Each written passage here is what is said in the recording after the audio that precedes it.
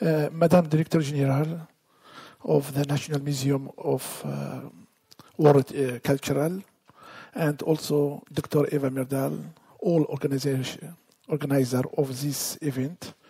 Uh, thank you very much to give us this opportunity to meet you for the first time to visit Stockholm. All our events before we pass it in another capitals in Europe, another way. Uh, ladies and gentlemen, I am very happy to meet you, to present you some image what happened in Syria through this crisis. It is a very hard crisis. It is not like any time in Syria. Through 20th century and before. All the violence happened in Syria.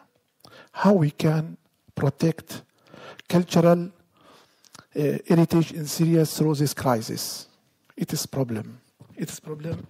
But before to speak about the challenge, the damage, I would like to give you some image about, about the beauty of Syrian cultural heritage.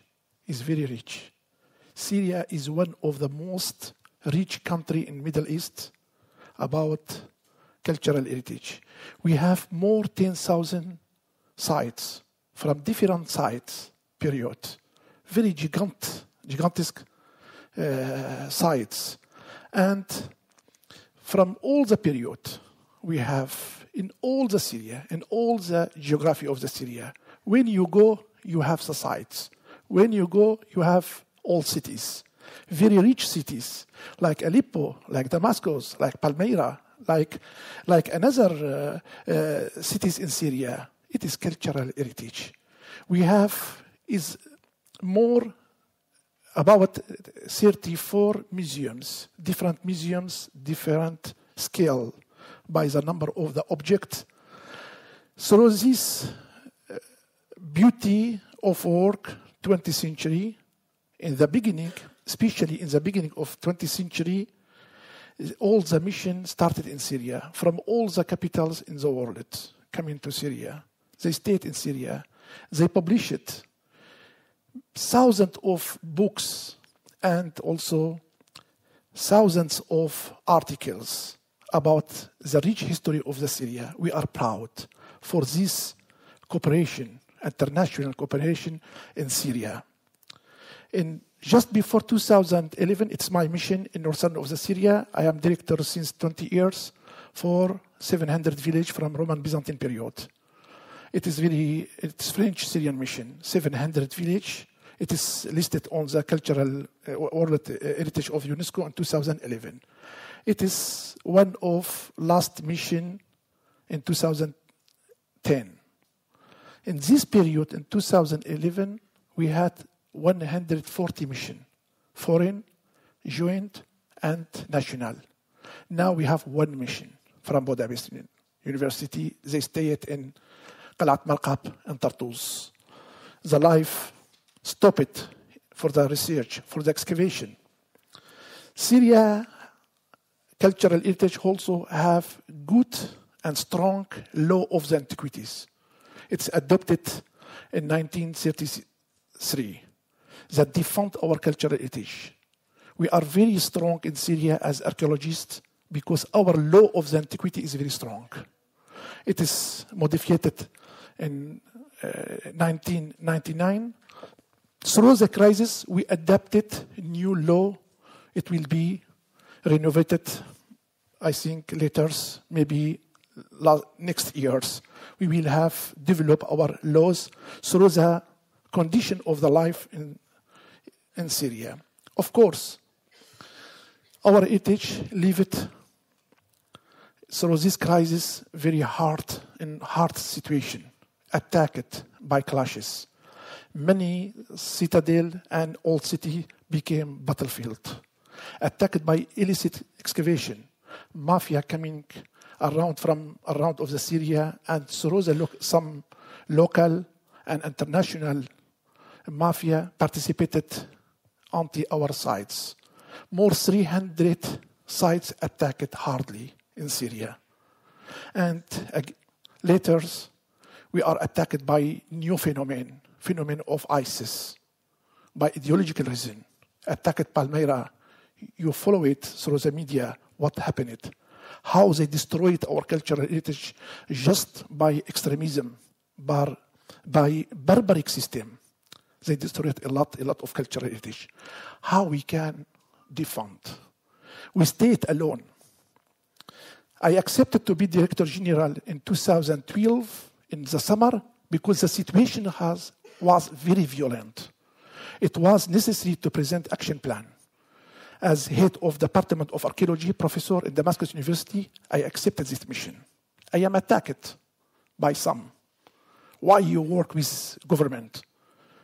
I said, how you can defend cultural heritage if you are not in Syria, if you are not engaged in the job? How you can decide about the evacuation of the museums to hide all the collections, to save the, about the totality of all collection. More 300,000 objects saved through my colleagues, despite all the condition. We leave it. Fortunately, quickly, all the organizations in the world, special UNESCO, ICOMOS, ICCROM, ICOM, all the Interpol accepted our mission, contacted us, all the scientific from many countries in the Europe, Japan, United States helped us in contacting. Because to be alone, to be in isolation, is problem.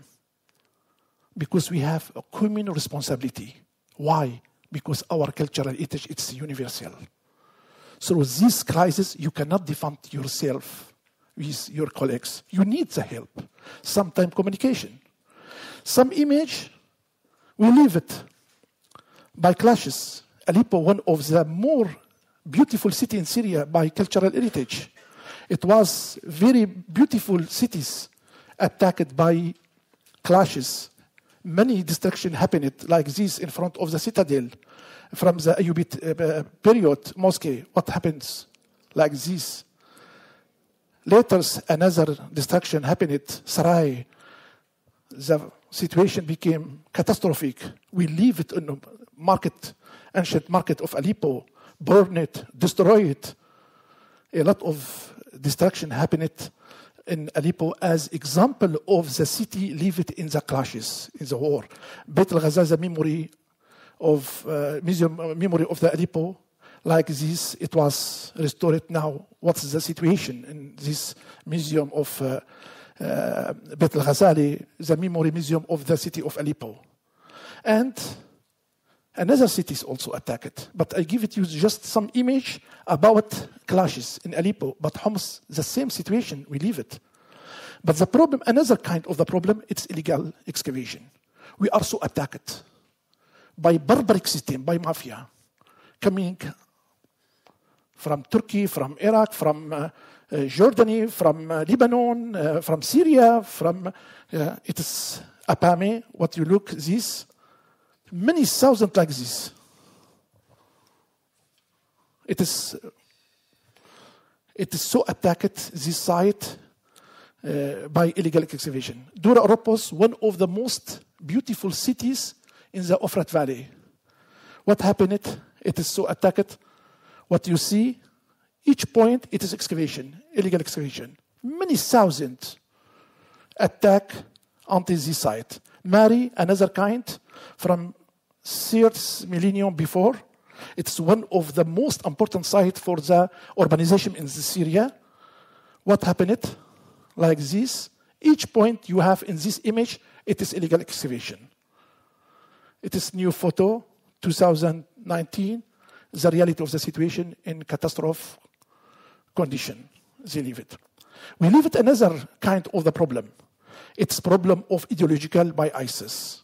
This image coming to me, to my office, 18 May 2015, like today, the International Day of the Museums. I received this image from Palmyra.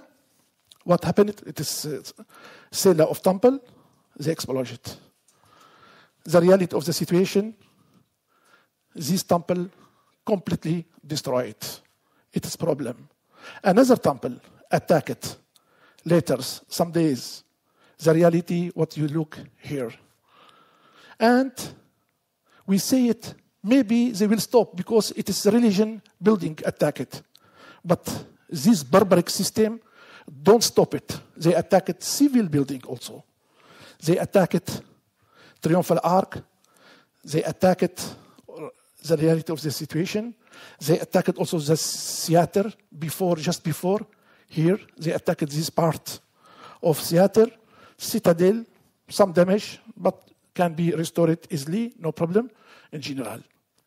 For the museums, it's four sites. For the museum, 34 museums. We decided, I remember, two weeks later of my nomination, I decided to close all the museums. We said, do not repeat what happened in Baghdad in 2003. We should to transport, to close all things in situ, in each city.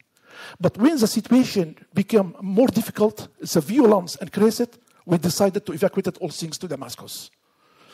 These museums, the people, my colleagues appealed me in 2013, Professor, we have some thief tried to enter in this museum in Aleppo.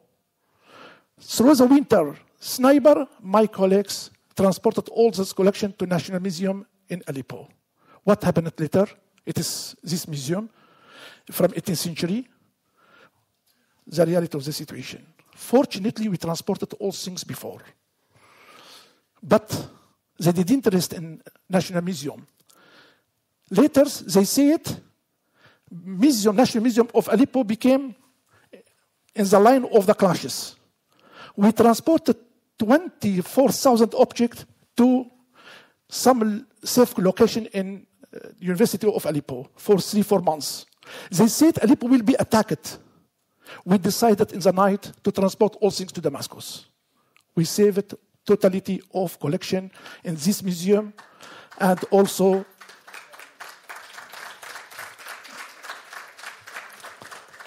the same situation in Deir. When I heard in 2014 National Museum of Mosul attacked by ISIS, we said the second will be Deir in the east of the Syria. 30,000 objects were transported by military plane through the army. We asked it to give us because no routes. We are surrounded by ISIS. We transported 30,000 objects to Damascus from Deir from Aleppo, Palmyra, another case, just example. The night of occupation, after occupation of the half of the city, we moved three trucks from Palmyra, more 400,000 beautiful statues, many hundreds objects. But later we transported all things. Three museums attacked, Museum of Raqqa, attacked by ISIS. It is the kind of collection of Raqqa lost, destroyed. Fortunately, it's not ez-Zor. Because in ez-Zor, among of 13,000 objects, we transported 16,000 cuneiform tablets. It is a memory of the history of research in Syrian Mesopotamia through one century. We transported. Because quickly this city, occupied by ISIS, they attacked. They attacked this kind of the objects, scientific object in general. But here, what you see, we hide it 150 mosaic underground. Three years ISIS hadn't any information. When Raqqa is liberated from Daesh, my colleagues asked me all the mosaic in safe location, fortunately. Ma'arat Na'man, another city, it is more beautiful museum in Idlib area. We lost as government, the government lost the control. But we kept good control on this museum through the local community. The brave people in this city, in cooperation with us, they kept control of this mosaic. Fortunately, all the mosaic in good uh, situation like this mosaic, Heraclon, from Homs, uh, reserved in this museum. Through the local community, we keep it control on this museum and we saved all the collection in Museum of Na'man. One challenge state for us through 34 museum in Syria, just this museum of Idlib. We hide it all collection underground. Now Idlib it's not control, under control of the, our director of the antiquities, but through the local community, the expert, scientific, We keep it, we push it, we encourage it. Our people in this area, please, it's your identity, first of all. Second, it's common, national. Third, it is international, universal heritage. Please keep control on this museum. If you can save about 5,000 objects, it's okay. That means we save it about the totality of collection on all the Syria, despite all these problems. What happened later when we found the situation go in violence, we decided to transport all these objects. It is one of the truck coming from Aleppo to National Museum of Damascus. And slowly, slowly, we evacuated all the collection from all the Syria to Damascus. What is the kind of the measure? What is the vision? All time we ask it, please. Don't confuse the work of the saving of cultural heritage with the politic. We cannot accept to div- divide our heritage in two. One for the government, another for the government, for the oppositions. We have one heritage for all Syrian people. It is universal heritage, please. Governmental, no governmental, local committee, you should to be together. It is our identity, common identity, common history. Fortunately, all the Syrian people accepted this mission in all the area, participated in this battle of cultural battle. We, we went together, we protected in cooperation with governmental, no governmental, local committee in many area of the Syria. We unified the vision of all the Syrian people. We pushed all the Syrian people to, to take the responsibility to protect this cultural heritage. And through the evacuation of the museums, the closing, evacuation, etc., we had another things to do. Launching, raising awareness campaign on all the Syria.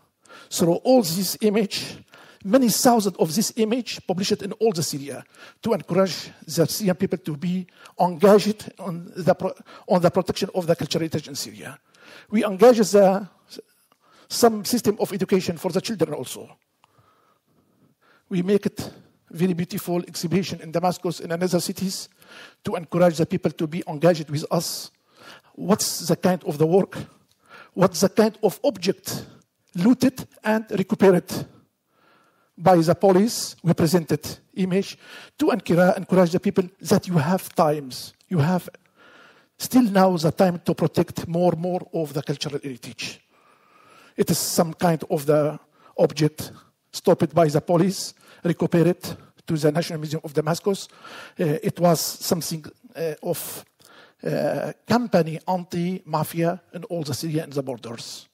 And also, we made a lot of the conferences in cooperation with the Interpol, Syrian National Interpol, the police, how we can, and custom, how we can make together the politic of the protection of the cultural heritage.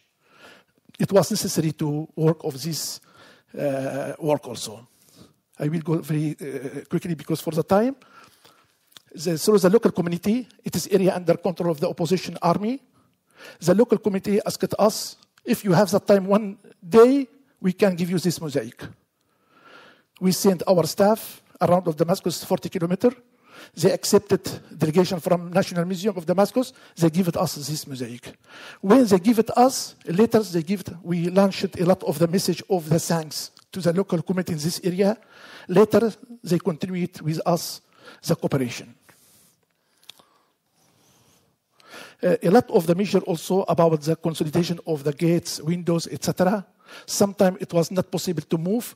We made a lot of this system of protection in the garden and something in Aleppo, in Damascus, in Homs area, uh, uh, inside of the Museum of Aleppo, like this. Now they are trying to reopen National Museum of Aleppo. Sometimes it was not possible to move something. We made this system of protection, safe places, location. It was necessary to have all the condition of the control: anti-humidity, anti-explosion, anti-theft, anti-fires. Do not repeat what happened in the uh, Museum of Beirut. After 15 years of uh, saving of the antiquities in Beirut, they discovered in good party it is uh, damaged by humidity. We made also this system to keep control 24 certain on 24 hour old control. Documentation, packing, all things move it. We made new packing, new documentation, more 280,000 new picture, high resolution of picture we made through this crisis. And some gates, system of gates to protect the wall and roof, to protect all the roof. Mosaic, this mosaic, we covered by soil very quickly. Later, this museum became battlefield like this. Our museum protected, our mosaic protected. Uh, you should to make the preventive system. Do not wait. Each day it was necessary, like this Hawarte Mitraillons, protected by local committee, by one man, 80 year old. Keep it control on this temple with me, just to contact me in Hama area. He is living around of this temple. His and her family, his family, they protected this fantastic uh, temple of Mitraillon. It's unique in Syria painting. They protect it. It's for this all time we encouraged the local community to be engaged. All kind of the object transported to Damascus before the occupation of ISIS, 400, like these trucks came to Damascus. We made a lot of documentation 3D, many hundred thousand of image uh, inside of the Museum of Palmyra for the site, for the damage, with the French uh, team. Uh, Polish team came to Palmyra three days later of the liberation. We transported this lion to Damascus, and we restored this lion. We saved it later. Two days after my leaving of as Director General, we celebrated this uh, uh, project. And documentation, publishing, we insisted to be transparent with international community, to publish all things in Arabic and English. Do not publish any fake information. If the information is good, you should to publish it is good. It's bad, you should to publish this information that it is bad. To share the information with the international community to be transparent because we are scientific. We don't make the politic. We don't make the propaganda. Finally, we defend Syrian heritage for all the Syrian. We published these uh, books in Arabic and English also. We documented all what happened through this crisis. We keep a good inter, uh, relation with all these organizations in the world. I thank UNESCO, ICOMOS, ICCROM, Interpol. Uh, really, they give us a lot of the help through this crisis. They refused to uh, to leave us. it was necessary to sharing uh, scientific uh, idea, etc. And they helped a lot of the project with us through this crisis. This, uh, we are now celebrating new publishing. Thank you very much, Madam Director General, for this publication in Swedish. I am proud to be in Sweden to see this red uh, list for the Syrian antiquities in Swedish language. I hope to have another language to be engaged through the translation. A lot of the training, a lot of the world. Uh, United Nations adopted this resolution to resolution anti-destruction in the Syrian and Iraqian antiquities. It is necessary. It was excellent adoption of this to resolution, but what we need now mechanism of applying in the field, how we can apply. It's necessary through the international committees, through the cooperation, we can reduce the impact of the war on the cultural heritage in Syria, Iraq, and also in Afghanistan. Finally, I say it all time, I repeat it all time. We have wind borders in archaeology. We have one archaeology, it's international archaeology. Our heritage in Afghanistan and Iraq, Syria, Yemen, Europe, it is universal. We need you. We need your solidarity, your help, your cooperation. That means we can rebuild the future for our children. Thank you very much.